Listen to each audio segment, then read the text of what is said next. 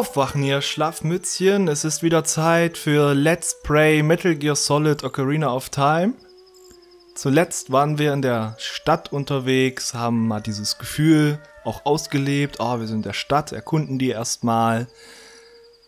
Haben ein bisschen die Zeit verbummelt, haben ein Ei bekommen von einem seltsamen Mädchen.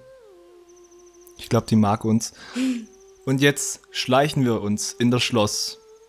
Und weil ich ein bisschen gebummelt habe, dämmert es schon. Perfekte Kondition zum Schleichen. Hurra! Auf geht's.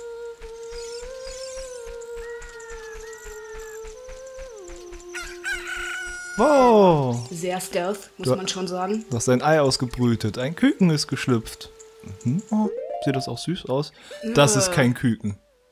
Das ist kein Küken. Warum sieht das nicht so aus wie die Tennisbälle in Majora's Mask? Ja, ne? So.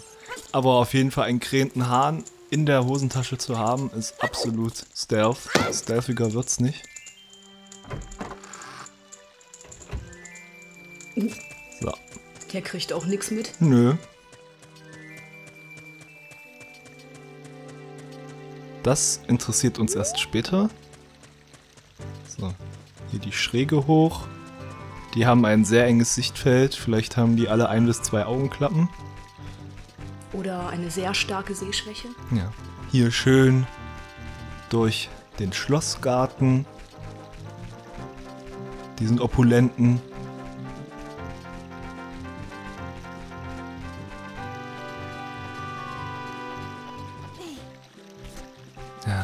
Dass Link da klettern kann.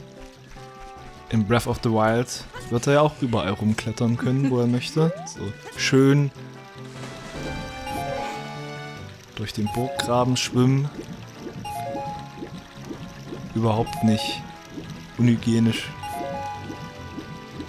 Aber immerhin gibt's Geld dafür.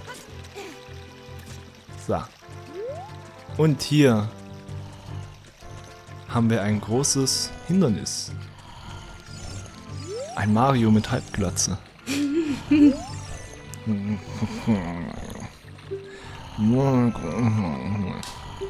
Milch frisch abliefern.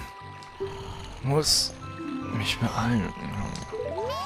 Aha, so sieht beeilen aus. Dafür haben wir ja das Ei bekommen, das jetzt ein Küken ist. Ein sehr großes Küken. Was zum Teufel? Kann man denn nicht mal für eine Sekunde die Augen zumachen? Für zwei Tage wohl eher. Ich bin allergisch gegen Hühner. Du bist wie Anjo, wie heißt die denn hier? Hühnermädchen. Hühnermädchen. Hallo, wer bist du? Also ich bin Talon, Besitzer der Lon Farm. Ich war auf dem Weg zum Schloss, um frische Milch zu liefern, als ich mich kurz ausruhen wollte. Muss ich wohl eingeschlafen sein. Was? Marlon sucht nach mir?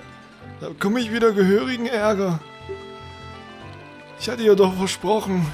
Oh nein, aber ja, das läuft nicht gut. Du klingst wie Rudy. Ein bisschen.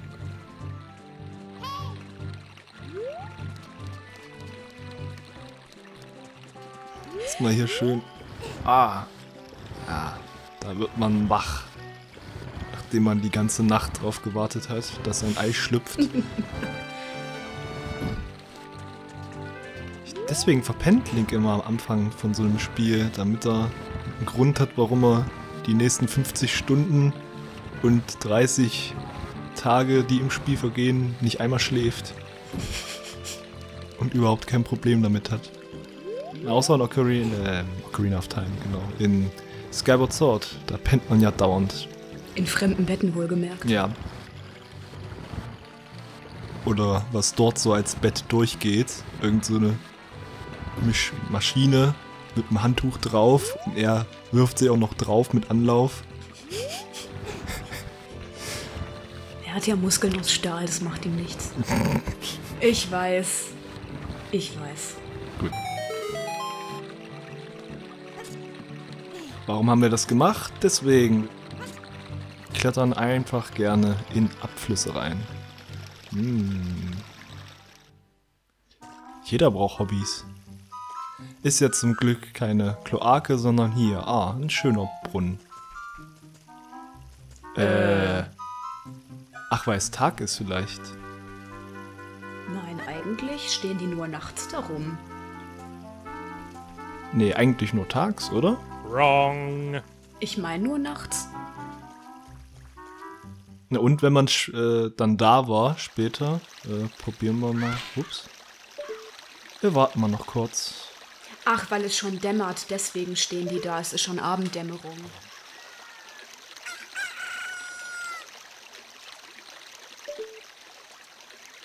Ich glaube, wenn der Hahn kräht, kannst du wieder durch. Das ist noch zu früh. Der hat doch gekräht. Ach, echt? Ja. Wenn wir jetzt sehen. Ja, Ah, was kann ich überhaupt? äh, wir haben es ja extra leise gestellt.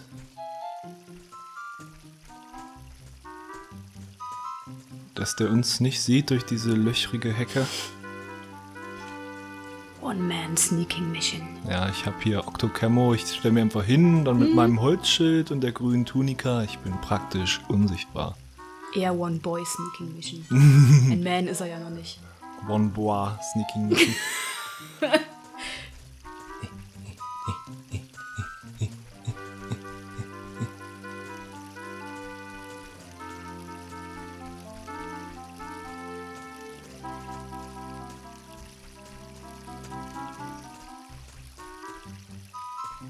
Oh. Ja. Da kann Martin Luther natürlich nicht widerstehen. Nee, Geld. Geld.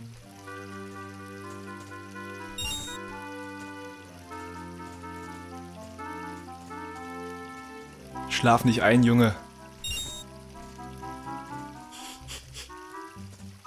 Dass dem noch nicht schwindelig geworden ist. Ja, ne?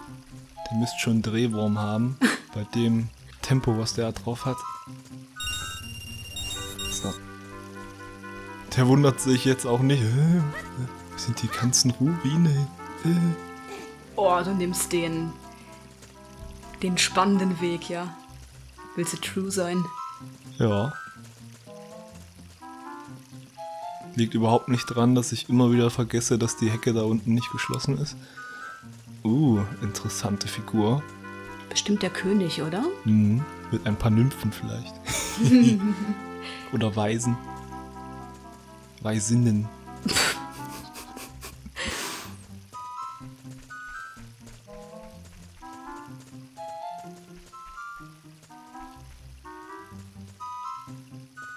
Oh. Ah. Oh. Kunst. Der fruchtbare Moment.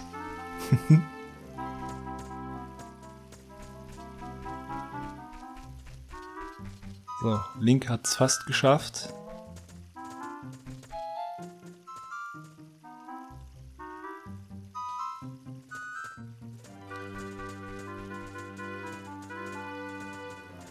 Äh.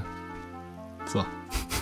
Da in der Mitte steht jemand mit einer Toga, oder? Ja. Die Statue? Oh, sind wir ins falsche Spiel gerutscht? Brechen wir jetzt Antonius Villa ein, um Cäsars Testament zu stehlen? das war eine Referenz an ein Spiel, was fast niemand kennt. Sehr gut gemacht. Leider. Ja, Shadow of Rome spielt es. Liebt es. Naja, zumindest. Einige Teile davon. Die Kämpfe sind manchmal etwas haarig.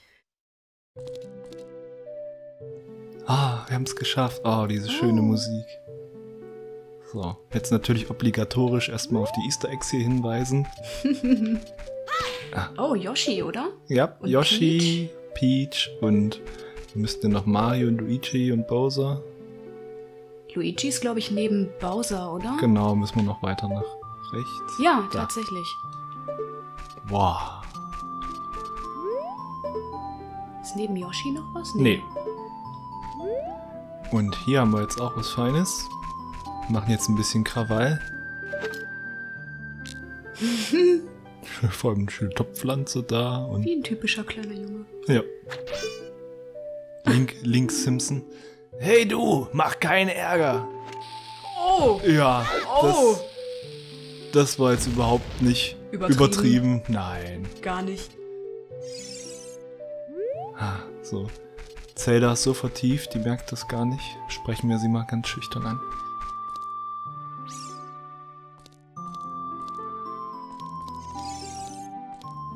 Nicht erschrecken.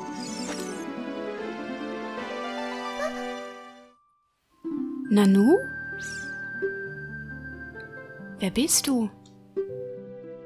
Wie hast du es geschafft, an den Wachen vorbeizukommen? Oh, was ist das? Das ist eine Fee? Dann, dann kommst du, kommst du aus dem Wald? Du, du hast nicht auch zufällig den heiligen Stein des Waldes, oder? Ich meine diesen funkelnden grünen Stein.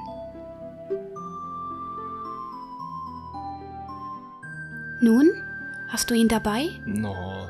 Wer könnte da Nein, Nein sagen? Wie ich mir dachte. Ich hatte einen Traum. Darin überzogen dunkle Wolken unser Land Hyrule. Doch plötzlich durchschnitt ein Strahl hellen Lichts diese Wolken. Er kam aus dem Wald und ganz Hyrule erstrahlte in seinem Glanz. Das Licht verwandelte sich in einen Jungen, der einen glitzernden grünen Stein in den Händen hielt. Ihn begleitete eine Fee. Ich weiß, es war eine Prophezeiung, dass jemand aus den Tiefen des Waldes kommen würde. Ich dachte, du wärst es. Tut mir leid. Ich habe mich ein bisschen mitreißen lassen von meiner Geschichte und mich gar nicht standesgemäß vorgestellt. Ich bin Zelda, Prinzessin von Hyrule. Wie lautet dein Name? Ich fühle etwas. Link. Seltsam, er kommt mir so vertraut vor. So sei es, Link. Ich werde dich nun in das Geheimnis des Heiligen Reiches einweihen, das seit Generationen von meiner Familie gehütet wird. Du wirst das doch nicht weiter erzählen? Doch. Die Antwort. Doch. Doch. Klar. In Ordnung. Dies ist die Legende. Sie erzählt das doch.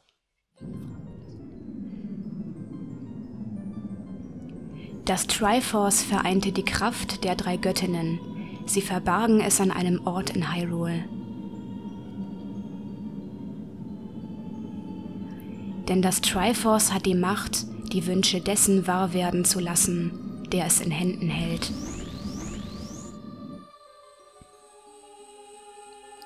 Ein rechtschaffenes Herz würde Hyrule in goldene Zeiten voller Reichtum und Frieden führen. Augustus. Würden Wünsche eines Menschen mit niederer Gesinnung erfüllt, so verschlänge das Böse die Welt. Daher errichteten die Weisen die Zitadelle der Zeit, um das Triforce vor bösen Mächten zu bewahren.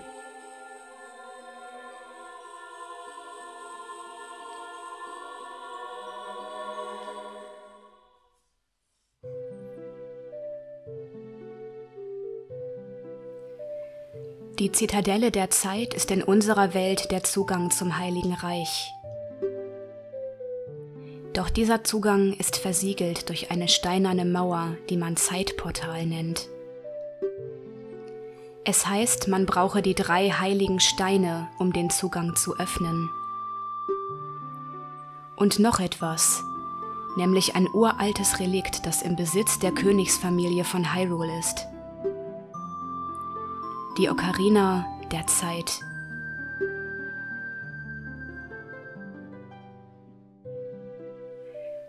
Hast du die Geschichte, die ich dir anvertraute, verstanden? Ja. Großartig. Das habe ich ganz vergessen. Ich habe gerade durch dieses Fenster hier geschaut. Eines der Elemente aus meinem Traum, die dunklen Wolken. Ich glaube, sie symbolisieren diesen Mann dort. Möchtest du ihn dir anschauen?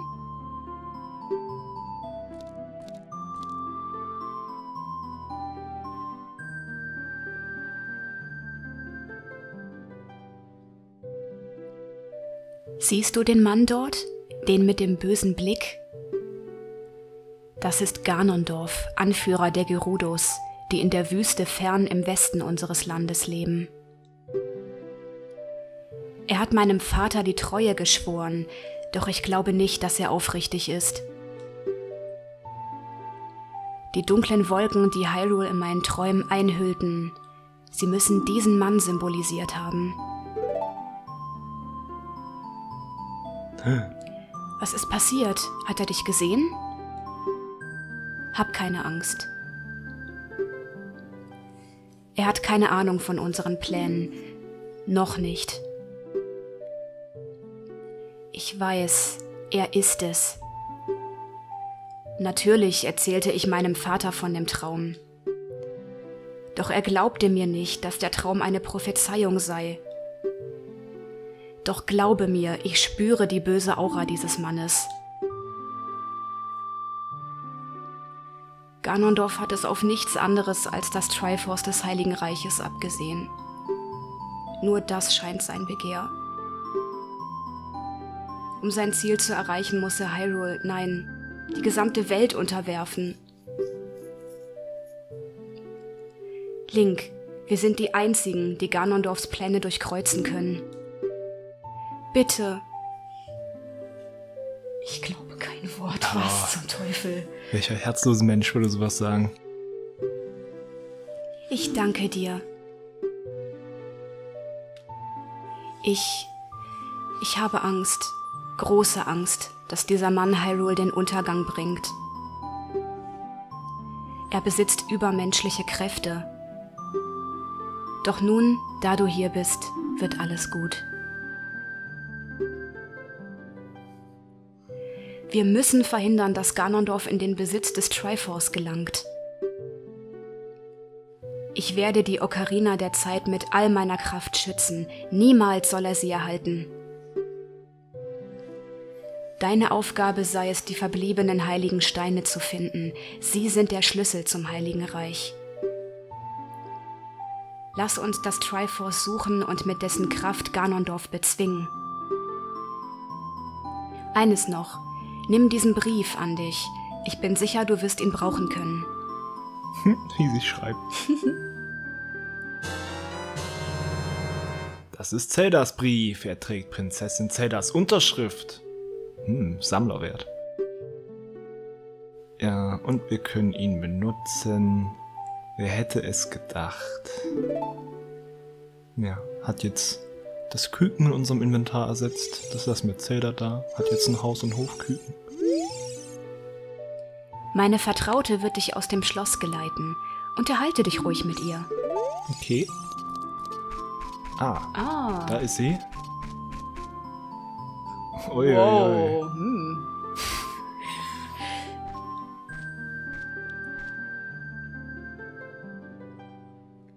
Ich bin Impa, Überlebende der Shikar. Meine Aufgabe ist, Zelda zu schützen. Alles ist so geschehen, wie es die Prinzessin prophezeite. Direkt auf den Punkt. Hm. Du bist ein tapferer Junge. Die Vorsehung hat dich an diesen Ort geführt. Mir wird nun die Aufgabe zuteil, dich eine Melodie zu lehren, die du nie vergessen darfst. Es ist ein Lied, das die Königsfamilie von Generation zu Generation weitergibt. Ich habe dieses Lied für Prinzessin Zelda gespielt, als sie noch ein kleines Kind war. In den Noten verbergen sich mysteriöse Kräfte. Lausche nun der Melodie.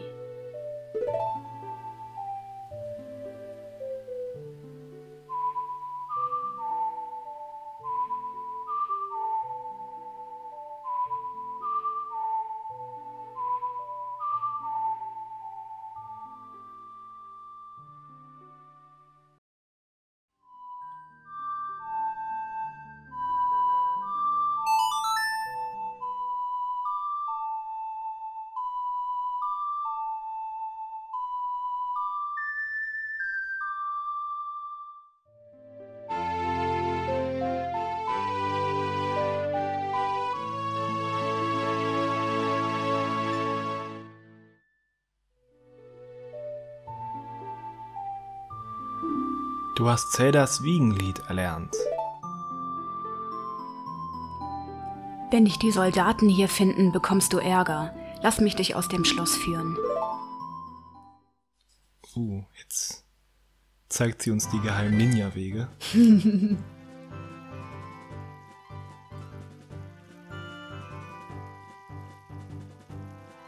Du tapferer Jüngling, wir müssen Hyrule vor der drohenden Apokalypse bewahren.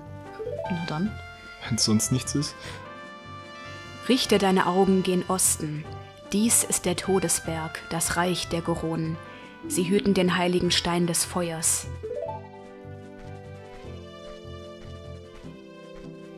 Am Fuße des Todesberges wirst du Kakariko finden. Es ist die Stadt, die ich gegründet habe, um Verfolgten Obdach zu bieten. Bevor du zum Berg aufbrichst, solltest du dich mit einigen Bewohnern unterhalten. Das Lied, das ich dich gelehrt habe, besitzt geheimnisvolle Kräfte. Nur Angehörige der Königsfamilie dürfen es erlernen und spielen. Vergiss nicht, du kannst damit beweisen, dass du in königlicher Mission unterwegs bist. Geh nun, die Prinzessin und ich warten auf dich und die heiligen Steine im Schloss. Enttäusche uns nicht. Uh, Oh. toller Abgang. Uh, Link ist jetzt königlicher Abgesandter. Und wir haben hier einen perfekten Punkt, um aufzuhören, bevor es weitergeht. Wir gehen dann direkt zur Farm, nicht nach Kakariko. Und was Link dort alles erlebt, das seht ihr dann beim nächsten Mal. Seid gebadet im Segen der Göttinnen, ihr lieben Schäfchen. Und bis zum nächsten Mal.